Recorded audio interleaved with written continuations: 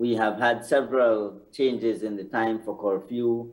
We felt that it has served its purpose, um, and we that was the first decision was made that we have to lift the curfew.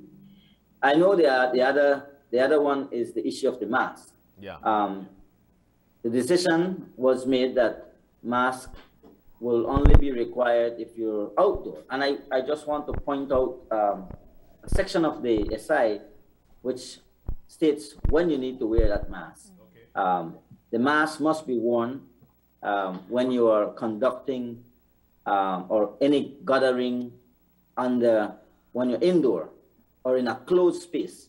For example, you're going to a church, a church service, a wedding ceremony or celebration, um, a funeral service, wake or repast.